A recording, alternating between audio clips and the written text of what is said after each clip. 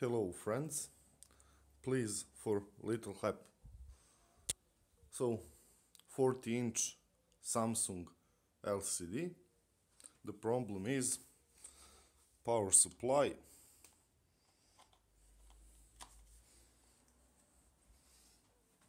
After about 10 seconds I cannot start up him and now in about few seconds you will see the blinking light. This will go infinitely.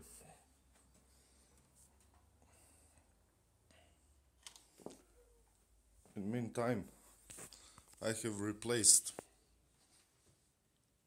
all capacitors even small one transistor diode.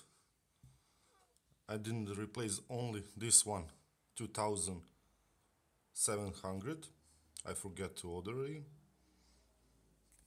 So when I replaced all and this diode TV worked about 3 or 4 minutes. After that diode again blow up. Only this diode and TV don't working. If anyone know what's the problem, please help. This is the board number.